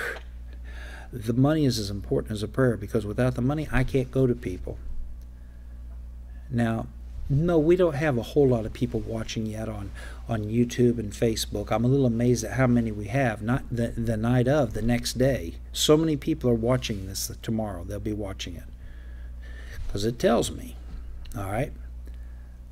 But the beauty of it is people are going back into previous messages more and more. So all those messages, it's the way we're doing it now, it's kind of like the gift that keeps giving. It's there for future it's there for people to find later on. I've had somebody join us recently and they said, I've been going back and listening to sermon after sermon after sermon. So this is a great thing. This is a wonderful thing. And we're going to expand on more of it. I'm trying to get the fellow that, that uh, is my tech man. I want to go on to more venues, okay? And uh, so be praying about that. I don't want to just be on Facebook or YouTube. I want to be on more places to reach more people. Because the church needs to hear and people need to hear. God's already put on my heart to do a whole nother program. And I'm looking for people that are going to do it with me. Just praying, God, you show me, as I told our brother. The Father showed the Son who was to be his apostles. The Father will show me. And we'll be teaching. And, and uh, I, what I have on my heart is I want to do a, an interactive through the Bible, kind of a Sunday school type thing, where people can call in. We got this wonderful phone system. They can call in as we're teaching and say, "Hey, I got a question. I love what you're teaching tonight, or, or, or I know what you're teaching. I don't understand. I got a question, and and uh, I want to see if you can answer it because it's been bugging me about that scripture you're talking about. Because we're going to stick with the scripture or wherever we're at. We're not going to jump all over the place. We want to stick with where we're going to be at. But you need to learn that, that scripture. You need to know the Word of God. I, honey, that's where the power is. You got to know that Word of God. But it's got to be taught by the Holy Ghost. So, um, be praying about that too. Be praying God gives me time to do it. All right. So, as I was saying, you can go to 727-223-3006 and Marilyn will be there or you can go to my blog and I've been forgetting to put the talk about the blog. I do a, a devotional 5 days a week. And you go to pastorjefflane.com. You can subscribe to it. I hope you do. I wish you do because we're so close to hitting another um, uh, how shall I say, kind of a landmark in in um, uh, numbers we need to bring on a few more numbers. Uh, so hit that point. But um, and then I send out. A lot of people found out where I was at after I left the other place because they got that blog. They kept up with me, and but it's PastorJeffLane.com. Go there and and uh, um, subscribe to it. But but you can also go there and hit the donate button if you don't want to talk to somebody or maybe you can't get to it tonight but you can get to it tomorrow or you got to make a deposit tomorrow whatever it is whatever reason you can always go there you can donate you can give uh, by debit card credit card or whatever i prefer you use debit cards i don't like to see people going into debt but but however god moves upon you to do it this is the most secure company it's the only company of this nature that's never had a, a, a breach and that's why i chose it so you can go there, you hit the donate button, and you just fill out the form, fill out everything that's there, and and then hit um, donate, and it'll go through. So, or you can go to Marilyn, and she she can take care of it. However you want to do it. So that's that's that. But that money, we are set right now. We are starting to save to get on the new the new program. I got to have X amount of dollars before I can go on. I'm not sure what it is, but I'm sure I'm going to have to pay a month in advance and that is going to run us hang on let's see Now, this is just for the one program. This isn't everything. What would it be? 22. This is a rough guesstimate. Uh, divide by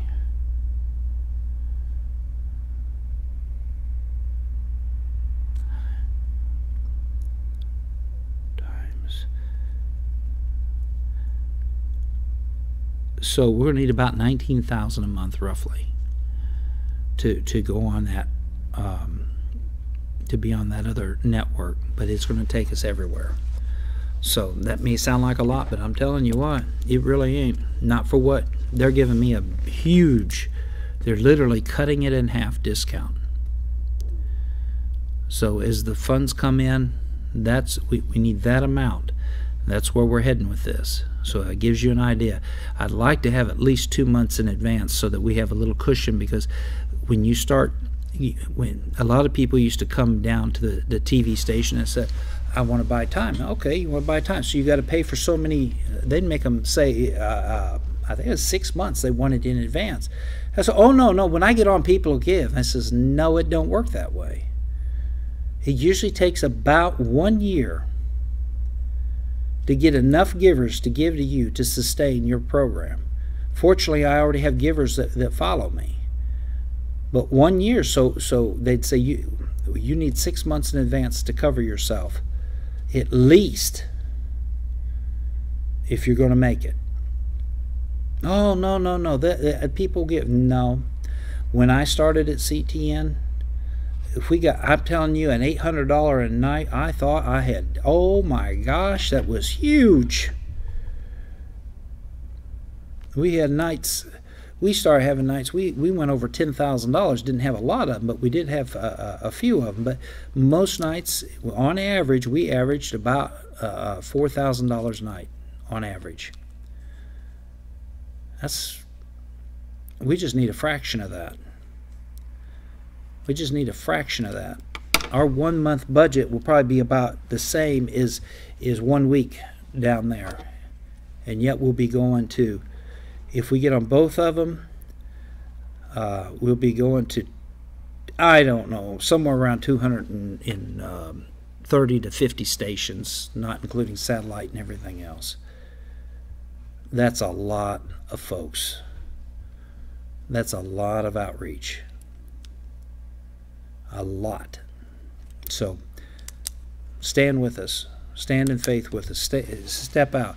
And, and you think, oh, I just, I can just do a little bit. No, you can't. Because whatever you give is not a little bit to me. It's not a little bit to God. Give what you got in your hand. And it doesn't take too many people. Give them what they can to make things happen. It doesn't take very many. So, in one night, God gave me a miracle night. I'm just going to tell you what it was. One night, in one night, the day that God spoke this to me, we got enough to pay for a half a month. In just that one night, almost a half a month of that. That's a lot. Of, that's a lot of money, and I felt like God was saying, "See, I can do this." And it's in the bank. It's going to stay there until the time comes we need to pay for it. So please, whatever you can do, because God's going to do greater and bigger things. He's already promised me. And you watch, after May 1st, you watch what happens. It's going to come pouring in because God's going to expand. And if we get where we, we, we get everything taken care of with the two, I'm going to be looking for another network. I'm looking for another satellite because God said to take it all over the earth. Because you know what Christ said? He says, when we reach every man, woman, and child on the earth, when the gospel is preached in all the earth, then I'm coming back.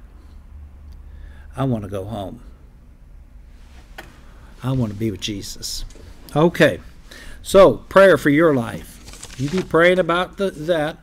Let, let's just pray about it, okay? Father, I just lift up that you put us exactly in every station satellite, venue, everywhere you want us to be, and that all the funds come in. But Lord, it be for your glory, not for mine, but for you. Help us to lift you higher, Jesus, every day, that all men, Lord, may know you. Have your way, Lord. Move upon people, Lord. Remove the chains that have bound the funds from coming in and bring them in, I pray, in Jesus' name. And we thank you for everything that has come in. And may you bless every giver in a mighty and great way. In Jesus' name. Amen. Okay, if you need prayer in your life, and maybe it's financial, now's the time. What's that? I'll tell everybody. Aaliyah is here with me tonight, my, my youngest daughter, because um, the fellow that was supposed to be here had gotten sick. And he's recovering. He's doing real good, by the way. Uh, but she had, she ended up with a sinus infection, ear infection, and I was going to get her some antibiotics, and Lord told me, no, don't get them. I prayed for her. So don't get them. This was yesterday because God had healed her. And she just wanted to give her praise report just then. God had healed her of the sinus and ear infection. And uh, she was pretty miserable. But I praise God for that. And uh, yes, I, w- I don't mind taking antibiotics. I don't want to. I haven't in a long time, but I, I prayed over. And, and um, when, when my children went to school, all four of them, we got in trouble four times. And not in trouble, but, but looked at like we were aliens from Mars because they said, okay, who's your doctor? Who's your kid's doctor? We don't have a doctor. What do you mean you don't have a doctor? Who do you take? Where do you take your kids when they get sick? Said, we never had to take our kids anywhere. Well, why didn't you take? What's wrong with you? That's the thing. Nothing's wrong with us. We just pray and God heals them. So we we never had a pediatrician. We never had a doctor. You know, we just yeah, we'd go get shots or whatever the law requires. We would do that, but we just go to the clinic or something for for that sort of thing. But God just just always healed them, and they looked at us like we were aliens from another planet. And I'm like, you're right. I am an alien. I don't belong here. I belong to another place, and it's heaven. I belong to my Savior, and He's going to bring a new earth and a new heaven. I don't want no part of this earth and heaven anymore because it's exceedingly evil. He's taking me to a new place. So I'm just an alien and stranger here passing through. So, people, prayer works. And it works in my family. And it works with me. And um, so, whatever it is you got, let's take it to the Lord. 727 223 4850. I'm not saying we don't go through our things. God, uh, it, God's word is very adamant and very clear that you're going to go through things in life, but there'll be a distinction between those who love Him and those who are in the world. And He brought a distinction and He healed Aaliyah. Praise God. That gal's she's filled with the Holy Ghost. She prays in tongues. I keep telling her, you're a preacher. You got preach in you. When are you preaching? What night we having you preach? one, night, one night I, I, I really should. I, I really think she'd do a good job. I think it's in her. She understands. She's amazing, and and the wisdom to have at 17 years old, um, she gets it. She understands, and she's like us. She sees the world. She, I, I'm telling you, you can talk to her about anything. And you sit there like, I'm talking to an adult. I don't know if I can keep up with this one. Because God has opened her eyes and, and just give her understanding and wisdom. So I praise God for that. Anyway, uh, maybe one night we'll have her on here and she can uh, pray with people. Because she has faith, people. And uh, as my oldest daughter told me one time when God healed her, he said, she says, Daddy, I always heard your stories and I always heard you talk about being healed, but says, it's not your God anymore. I always knew him through you. He's my God. I understand. I know him. I know what you were talking about. And uh, I just, you know, you talk about a glory hallelujah time in a, in a father's life. Uh, when she was a child, her and her older brother, or uh, not older brother, her oldest brother, who's younger than her, uh, were playing hide and go seek. And I was in the bedroom praying, and little stinker snuck under the bed to spy on me. And I was praying, and she come out trembling and crying. She says, "Daddy, I want what you got. Can I have that too?" And I prayed over her. God filled her with the Holy Ghost, and she began to speak in other tongues. and the glory of God fell in that bedroom, you want to talk about a wonderful time in the Lord. You lead your children to Christ or you lead them in the baptism of the Holy Spirit. It's exciting. Daddies, you love your children, then you need to lead them to the Lord so that it won't be your God, it'll be their God. It won't be just the God of their fathers, it'll be their God of the living and their God. And you can't teach that. You can't give them that. They catch it from you. Let them catch it from you. Let them get the Holy Ghost from you. They'll get what you got. Anybody need prayer for their loved ones? Anybody need prayer for their children? You want them filled with the Holy Ghost. You want them on fire for God. Then you call me. Let's pray together. Honey, that didn't happen by accident. That just didn't. That happened because of prayer. That happened because my mother and my mother in law and, and my family were praying for their grandchildren. My mom prays for her children and her grandchildren and her great grandchildren every I don't think a day passes that she don't pray for them. And she's watching some of them that have left the Lord come back. But she don't let go of heaven. She don't she, says God has shown me every one of them will serve him before they die. And I believe it. I believe it. And some of them are stinkers. But that's how you bring them in. You intercede you pray, you grab a hold of heaven. I know there's people out there right now, you got kids that aren't serving the Lord. Then get other people to pray with you. How about you call 727 223 4850 and, and let me pray? Or maybe it's sensitive, maybe it's a situation. Sometimes your kids will tell you they're saved, and you know good and well they're not living for the Lord. Maybe you need to call Catherine because Catherine will grab a hold of heaven. 727 223 4994. 727 223 4994. Call her right now. Say, hey, listen, I got a son or I got a daughter. Maybe they're in drugs, maybe they're in alcohol, maybe they're living with somebody, they're, they're in a, a, a, a sexual relationship they shouldn't be in then call one of us and let's pray through. Because if you love them, you're going to pray for them. You're going to seek the Lord in their behalf. So give us a call 727 223 4850. I don't know where people are tonight. I've only had a couple callers. People. There's going to be a time and you say, Man, I wish I'd have called in. We're just about there. We are close. There's going to be a time, and you say, "Man, oh, I, yeah. I have to listen to myself. I can't stand to listen to myself. uh, praise the Lord.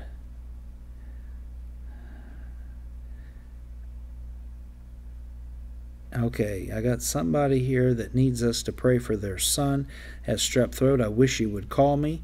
I can pray over there, but I'll pray with you right now. It, it, let me see. What does it say? It doesn't say his name. So let's uh, let's pray for this young man because he's starting a new job, and it says he just just uh, recently was born again. Father, I lift up this this new son, not only Lord, this son of this this person, but Lord, your new son and I rebuke the strep throat. I rebuke that strep virus in the name of Jesus and command it to die and for him to be healed, that fever to break, and Lord, for it to be gone tonight in the name of Jesus. Wake up in the morning healed in Jesus' name. Amen. Who do I have on the line? This is Ted from Arkansas. I was going to tell you I like your uh, your set behind you. I like the brick. Well, thank you, Ted from I mentioned that on Facebook and YouTube.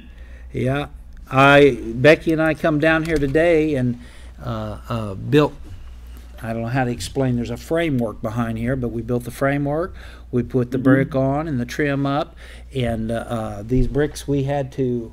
I painted them partially uh, because I, I wanted them. I didn't like the brick that was there, and so she came down here and she did a wonderful job directing every move I made. So it turned out fabulous. Oh, she, see, see what you can do if you listen to your wife, Ted. So, I don't have one, but okay. okay, well, would you like me to pray for you one, or, or Well, I don't know. I'm I'm good. All right for now. all right, all right. Well, the Bible says, "He who findeth a wife findeth a good thing." Don't you want a good thing? I, I'm not feeling. I, I guess. I, I I'm not feeling it, Ted. I guess. wow. The No enthusi- Listen, if you do meet a woman, I, I recommend a little bit more enthusiasm than that. well, I guess I'll marry you. Okay, I do. that ain't gonna work, Ted. It's it's a it's a definite yes or no.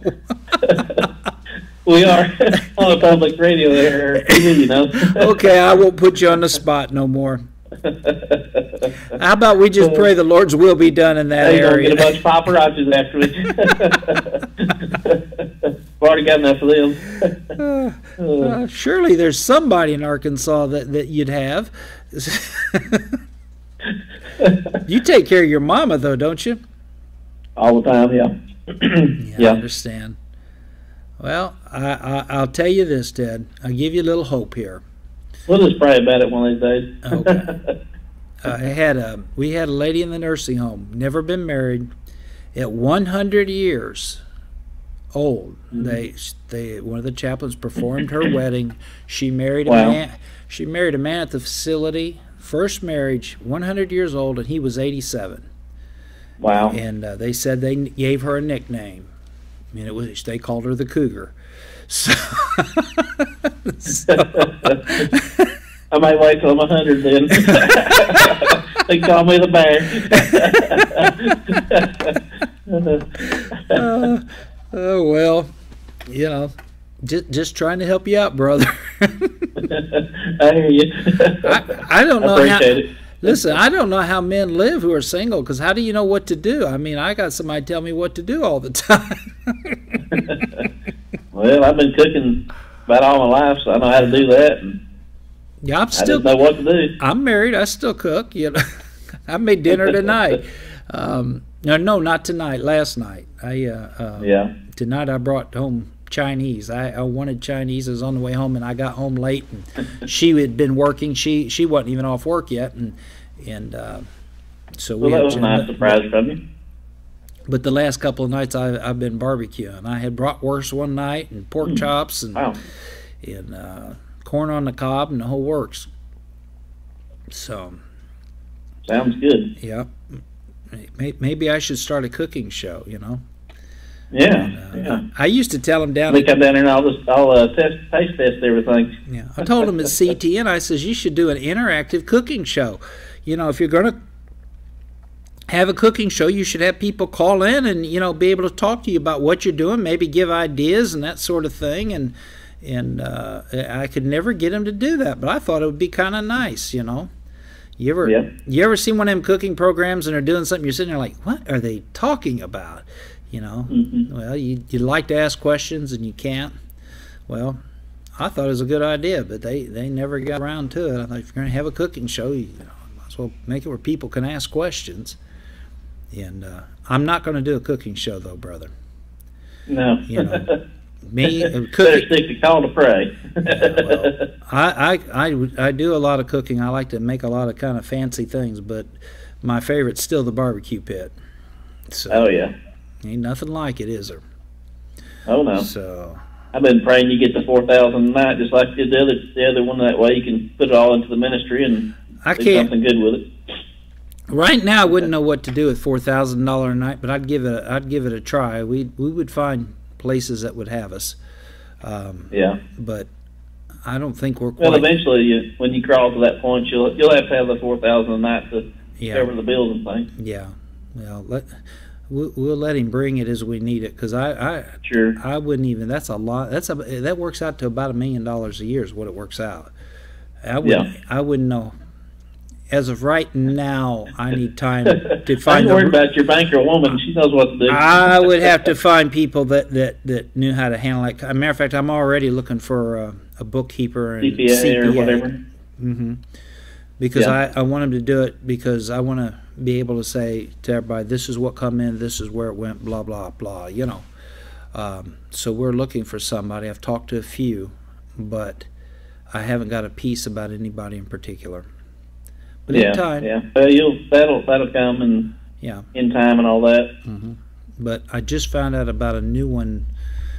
Let me see, two days ago, and I haven't got to talk to him. So I'm kind of, uh, uh, he's close. So I'm kind of excited about that. I want to. He's just down the street from here. So I, um, I'm gonna go have a talk with him probably next week, or or maybe the week after, because I, I gotta we gotta take care of this other, and um, so soon soon. That's important. You you want your ducks in a row. You know, I don't want I want to be above reproach in everything. Absolutely, you yeah. know. Right now, it's not too hard to be above reproach. There's not a lot to to, to talk about. but it is coming in. Praise God. I mean, you know, God's Yeah. been bringing it. So I'm, Oh, yeah. I'm I'm pleased. So, um, but anyway, when you hit the television every time, you'll be able to get the other ones back out there, and they'll they'll find out where you're at more than what they're Oh, yeah. they're doing now. Yeah, yeah, and it, it, it they'll find us. You know, Yeah. they, they'll find us. It, it'll come. All the other pastors out there get their their support through all their members and things like that. People that's been watching for a long time, so I'm sure you'll get the re, It, it, hey, you know ones We- you've been having or whatever, and new ones. we've paid for everything. We we don't owe anybody, so that's that's a miracle Yeah. already. Oh, And yeah. uh, we've paid for the, the television program a month in advance, and and uh, uh, I needed the the other the second month, and I got that. Um, so I praise God for that. We we have, it- every once in a while, it's good to have a little bit of a kind of a pledge night, sort of, because Mhm. when you're rolling into the bills that you're going to be rolling into, that's Mm-hmm. it's going to take some faith and some pulling and tugging of some hearts out there to get it done. mhm. But if we're doing God's will, God will provide. He'll make sure it comes. Oh in. yeah, yeah. And uh, he'd go before honestly, right now, I would just want some callers calling in. I want to see more people calling in. That's that's what I really desire. And um, so I'm just praying that they that we'll get more people calling in and, and go from there. I And, believe it um, will. Well, I know it will. I know once we hit TV, it's going to be crazy. Yeah. And um, matter of fact, I had a. I can't wait to try it out. Uh, we got this phone system, and we, we're going to have somebody vetting the calls before they come to me. And I was praying about. it. I was like, Lord, how do I make this thing work? And God gave me a dream last night, and I can't wait to try it because I think I know what I have to do to make it work. And um, it's very complicated, and I'm having a hard time finding people that, that know how to. The, the the video end is easy. It's the phone system that's a nightmare. So Yeah. it uh, Well, you have to train someone up to do it, and Mhm. once they learn it all, it'll be real fast and easy. well, I could train him if I knew what I was doing. yeah, I hear you. so, but I think God showed me what to do, so I I haven't had a chance to pull the other. Um, uh, there's another unit like the one sitting on my desk, and I already got it. Um, and I I was going to have this other guy do it. And he says I just don't know if I can get figure that thing out. And I was praying about it, and what God showed me was very simple. I thought, oh, we'll try that. So Mhm. probably before uh, before the weekend sometime I'm going to put it all together as I what Lord showed me and see what happens. And, Yeah, uh, yeah. You know, He's trying to tell me something. Well, God Well, bless once you. you learn how to thread the needle, then eventually you'll know how to uh, let it several times over with uh, that machine, and before you know it, you'll be a, a pro. Before you know it, then you can write it all down.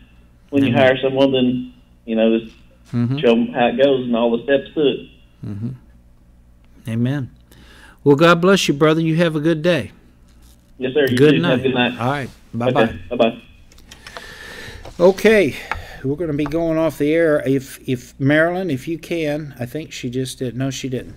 Um, if you can give, let me know where we're at so I can tell these people what's going on. And uh, um, in, I'd like to know before I go off the air, but I want to thank everybody for being with me tonight. I want to thank you for praying with me. I want to thank you for listening to the word. I want to thank those that have given tonight, especially. God bless you for having the, the vision and, and, and that. Hold on, I got one last call here. How you doing, Kath? Good. Just wanted to give a quick praise report. Okay. Um, everybody had uh, prayed for my niece Mhm. oh three four weeks ago, and we just found out she passed the New York State bar, Well, praise which was Lord. awesome because she was the one that was eight months pregnant when she took the exam and had a toddler at home, so it was not an easy feat. so we thank the Lord she that uh, she passed that New York State bar because that's one of the tougher ones in the country. Uh, one day she's going to look back and say that bar exam was a piece of cake to raising those kids. Well, praise the Lord. That's a good praise report. Thanks, Kath. Yep. Uh, Yeah, take care. All right. God bless. All right, bye bye. All right. Bye bye. Okay. Well, I'm going to tell you all goodbye tonight. Uh, we only had $58 come in towards that $250. Uh, I hate to leave money on the table, so please call us. Uh, I'm going to be there for about another 12 minutes. God bless you all. I love you. Looking forward to tomorrow night. You might see some more changes tomorrow. I don't know. Well, I said I was going to take off, so I doubt if you'll see anything tomorrow night, but the following night, uh, hopefully you will. You have a good day tomorrow. Goodbye. I'm so glad that you joined us tonight.